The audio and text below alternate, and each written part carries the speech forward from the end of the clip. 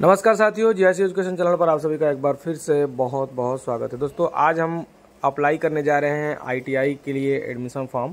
तो सबसे पहले हम यहाँ आईटीआई एडमिशन फॉर्म ऑनलाइन पे क्लिक करेंगे। इससे पहले फ्रेंड्स अगर आप हमारे चैनल पर पहली बार विज़िट कर रहे हैं तो प्लीज़ हमारे चैनल को सब्सक्राइब कर लीजिएगा और वीडियो अच्छा लगा हो तो लाइक एक, एक लाइक ज़रूर कर दीजिएगा। चलिए फ्रेंड्स स्टार्ट करते हैं।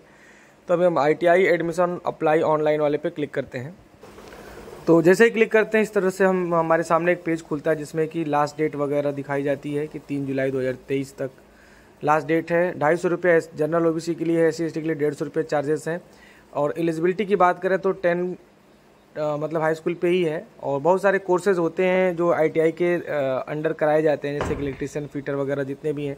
सबका ड्यूरेशन और एलिजिबिलिटी उसके सामने लिखा हुआ है। जब नीचे स्क्रॉल करेंगे तो यहाँ पर हमको रजिस्ट्रेशन का ऑप्शन मिलेगा। रजिस्ट्रेशन पर क्लिक करके ये एक बेसिक सा रजिस्ट्रेशन फॉर्म होता है। पहले रजिस्ट्रेशन फॉर्म फिल करते हैं, फिर उसके बाद हम लोग को ऑनलाइन मतलब प्रोसेस करना होता है। तो अभी हम लोग यहाँ पे अप्लीकेंट नेम अप्लीकेंट का हिंदी में नेम उसके पिताजी का नाम, माताजी का नाम डेट ऑफ़ बर्थ और कैटेगरी वगैरह डाल करके हम इस फॉर्म को सबमिट करते हैं। फॉर्म को खास सावधानी से सबमिट कीजिएगा। देखिए यहाँ पे आपसे बोल रहा है कि ओटीपी गया आपके फ़ोन पे।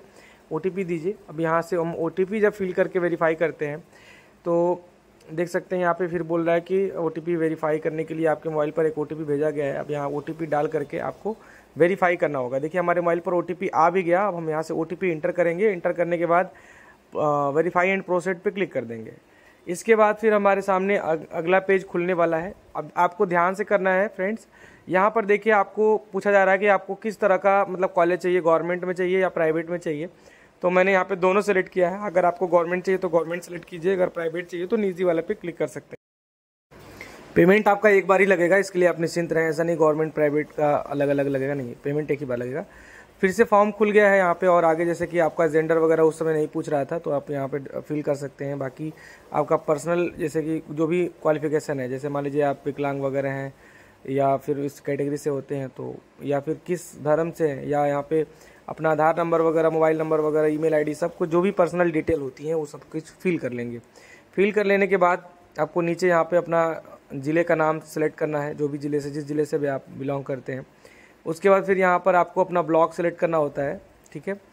अभी हमने ध्यान से सिलेक्ट किया था तो हमें अभी कासाबाद तो हो गया हमारा ब्लॉक, लेकिन अब उसमें नहीं आ रहा था तो मोहम्मदाबाद पहले जो पुराना था उसको हम सिलेक्ट किए, उसके बाद फिर इधर हम बढ़ जाते हैं विकास खंड की तरफ़। तो ये आ गया, फिर उसके बाद परमानेंट एड्रेस फिल करने के लिए हम वहाँ से एमएस पे क्लिक कर देंगे तो ये सारा फिल हो जाएगा।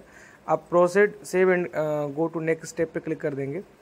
यहाँ क्लिक करने के बाद अब हमको हमारे सामने एक नया पेज आएगा। अब यहाँ पर देखेंगे, यहाँ पर देखिए ध्यान से आपको फिल करना है। अगर आपको सारे मतलब कैटेगरी या फिर अलग अलग ट्रेड लेना है तो पहले आप आठवीं क्लास को छोड़ करके सभी को फिल कर लीजिए। जैसे मान लीजिए दसवीं उत्तीर्ण, ठीक है, दसवीं उत्तीर्ण विज्ञान के साथ टेन प्लस टू और टेन मतलब जितने भी हैं सब आप ले लीजिए इसमें से और हाई स्कूल का नंबर आप यहाँ पे फिल कर दीजिए। सबसे पहले आप कौन से बोर्ड से पढ़ रहे हैं हाई स्कूल किस बोर्ड से पढ़े हुए हैं, वो आपको सिलेक्ट करना है। फिर इसको लेफ़्ट की साइड या राइट की साइड स्क्रॉल करेंगे तो इसी में आपको सारे ऑप्शन मिल जाएँगे। जैसे कि रोल नंबर वगैरह डालना है, जैसे यहाँ पे देखिए कॉलेज नेम अनुक्रमांक, कितना नंबर आप पाए हैं, ये सब कुछ आप इसमें फिल करेंगे। इसके बाद अगर आप कभी आईटीआई के लिए आवेदन किए हुए हैं तो नीचे लिखा हुआ है, पिछला आईटीआई का नाम, उसका मतलब जो भी व्यवसाय का पता वगैरह, यहाँ से अपना फ़ोटो सिग्नेचर वगैरह सब अपलोड करेंगे। तो चलिए फटाफट से हम अपलोड कर ले रहे हैं। तो देखिए गाइस हमारा यहाँ पे आवेदन फॉर्म हमने बहुत सारा मतलब जो भी फ़ील्ड था, हमने सावधानी से फिल कर लिया है। फ़ोटो सिग्नेचर भी अपलोड कर लिया है। Send and next go to next step पे क्लिक करेंगे, ठीक है? उसके बाद फिर हमारे पास नया स्टेप आ रहा है अगला स्टेप आ रहा है। अब यहाँ से हम वो इसके वो करेंगे फिर उसके बाद यहाँ पे हमको ग्रुप सेलेक्ट करना होता है। तो हम यहाँ पे ग्रुप ए को सिलेक्ट करेंगे। और ग्रुप ए को सिलेक्ट करने के बाद नीचे हमसे पूछेगा कि आप मतलब आ, किस जगह के लिए आ, देख रहे हैं किस जगह के लिए कॉलेज देख रहे हैं। तो हम यहाँ पे प्रदेश पे क्लिक कर दिए। तो अपने प्रदेश के जितने भी कॉलेज हैं आईटीआई कॉलेज जो गवर्नमेंट के आते हैं तो सभी की लिस्ट यहाँ पे आ जाएगी। आपको जिस भी ज़िले में एडमिशन लेना है, उस ज़िले का यहाँ पे नाम सेलेक्ट करेंगे और जितने भी आईटीआई कॉलेज की लिस्ट आ रही है, सभी को सिलेक्ट करेंगे।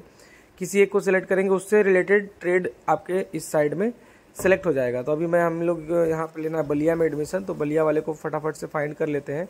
और यहाँ पे चुने पे क्लिक किया हमने तो प्लीज़ वेट करवा रहा है। उसके, उससे जो भी हमने कॉलेज सेलेक्ट किया है, उससे रिलेटेड ट्रेड यहाँ पे शो कर रहे हैं। अभी हमको ये ट्रेड नहीं चाहिए, हमको कोपा से करना था तो अभी हम इसको हटा दे रहे हैं।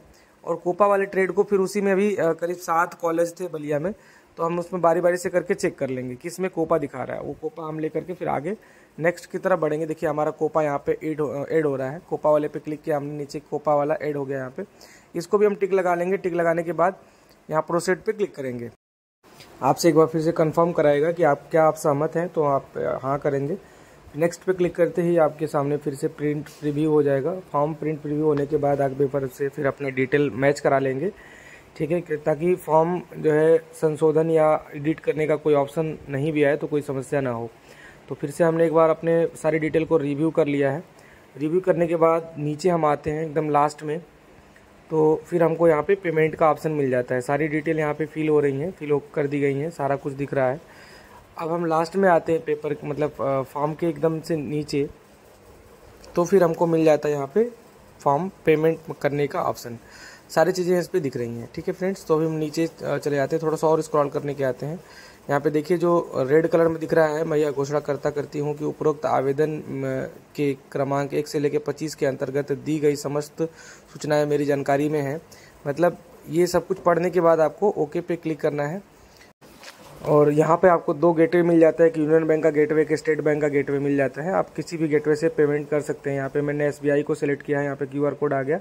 और क्यूआर कोड से हमने पेमेंट कर दिया है। यहाँ पे देखिए पेमेंट सक्सेसफुल का ऑप्शन हो गया है, लेकिन अगर ऐसा इरर देखे तो सेंट एनी पे क्लिक करना है। देखिए यहाँ पे सक्सेस का ऑप्शन आ गया। सक्सेस का ऑप्शन आने के बाद यहाँ पे देखिए ऊपर हमको मैसेज भी आ गया। आप नीचे देख सकते हैं, निजी आई में प्रवेश के लिए आवेदन हेतु यहाँ पे क्लिक करें। तो अभी हमने गवर्नमेंट के लिए फॉर्म फिल किया है। अब यहाँ पे प्राइवेट फॉर्म फिल करेंगे तो नीचे यहाँ पे क्लिक केयर पे क्लिक करेंगे। देखिए, सारी इन्फॉर्मेशन फिर से हमको दिखने लगी। नीचे हम प्रोसेड करेंगे। सबसे नीचे आ जाएँगे यहाँ पे proceed and send next step okay पे क्लिक करेंगे। देखिए, यहाँ पे फिर से वही सारी चीज़ें आ गई हैं। अब यहाँ पर जिस भी कॉलेज में जो प्राइवेट आईटीआई कॉलेज है, उस कॉलेज को हम सेलेक्ट करेंगे, जिसका, किसी कॉलेज में हमको जो लेना है तो। लेकिन उससे पहले आप यहाँ पर रिसेट डिस्ट्रिक्ट कर लेंगे। अगर डिस्ट्रिक्ट आपको वो नहीं मिल रहा है, दूसरे डिस्ट्रिक्ट में एडमिशन लेना है तो भी बलिया में हमको एडमिशन लेना है। बलिया को सिलेक्ट कर किया और उसके बाद फाइंड किया तो बलिया के जितने भी कॉलेजेस हैं, सभी की लिस्ट यहाँ पे आ जाएँगे। उसके बाद हम धीरे धीरे करके सभी को फाइंड जो भी हम जिसमें भी हमको एडमिशन लेना है, उसको फाइंड करेंगे सबसे पहले। और उसके अंदर जितने भी ट्रेड हैं, हम चेक करेंगे कि जिस ट्रेड में हम एडमिशन लेना चाहते हैं, क्या वो अवेलेबल है उस कॉलेज में, तभी तो एडमिशन लेंगे। तो चलिए हम फटाफट से चलते हैं, अपने कॉलेज को फाइंड करते हैं। यहाँ पे हमने देखिए सिलेक्ट कर लिया, महात्मा रतन गुलजार प्राइवेट आईटीआई ठीक है बलिया इसको हम क्लिक किए और चुने पे क्लिक कर दिए। जैसे चुने पे क्लिक कर देंगे, देखिए, यहाँ पे चार ट्रेड हैं, इस कॉलेज को मान्यता मिले हुए है, जिसमें हमको computer operator and programming assistant वाला चाहिए, जैसे कोपा कहा जाता है। तो उसमें हमने सेलेक्ट करके और एग्री कर दिया, देखिए फॉर्म का फिर से प्रीव्यू करने के लिए बोल दिया। और टिक लगा कर ओके कर देंगे, देखिए फॉर्म हमारा प्रिंट हो गया। अब यहाँ पे दोनों पे मतलब दोनों फॉर्म प्रिंट कर सकते हैं गवर्नमेंट वाला एक प्राइवेट वाला। इसको आप प्रिंट आउट निकाल करके अपने पास रख लीजिए, ताकि जब काउंसलिंग हो तो उस समय इसको आप यूज़ कर सकते देखिए, इस तरह से आप इसका प्रिंट आउट निकालेंगे। प्रिंट आउट निकालने के लिए आप पहले उधर थ्री डॉट पे क्लिक करेंगे ऊपर। ठीक है फ्रेंड्स तो देख सकते हैं, सारा चीज़ें आ गई। ऊपर पहले थ्री डॉट पे क्लिक करेंगे। थ्री डॉट पे क्लिक करते ही इस तरह से ऑप्शन मिल जाएगा आपको। और यहाँ पर ए फोर साइज़ का आप यहाँ पे सेलेक्ट कर लेंगे। ए फोर नाम से एक ऑप्शन होगा। ये देखिए I S O A four इस पर सेलेक्ट कर लेंगे। देखिए, यहाँ पे मोबाइल से आपका पी डी एफ़ बन जाएगा। नीचे आप सेव करते ही यहाँ पे कोई भी जो भी आपको नाम देना नाम देंगे। नाम देने के बाद सेव पे क्लिक कर देंगे आपका आईटीआई का जो फॉर्म है वो प्रिंट हो गया और पीडीएफ में सेव भी हो गया। सो है गाइज़ उम्मीद है आप सभी को ये वीडियो अच्छा लगा होगा। अगर वीडियो अच्छा लगा होगा तो प्लीज़ लाइक से सब्सक्राइब कीजिएगा। मिलते हैं अगली वीडियो में, तब तो तक लिए नमस्कार, जय हिंद।